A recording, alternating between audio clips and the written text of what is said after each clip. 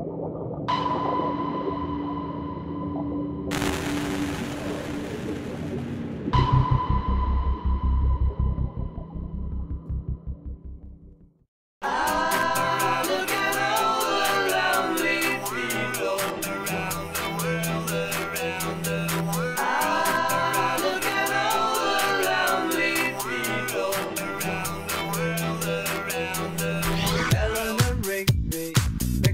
rice in the church where a wedding has been. Waits at the window, wearing the face that she keeps in a jar by the door.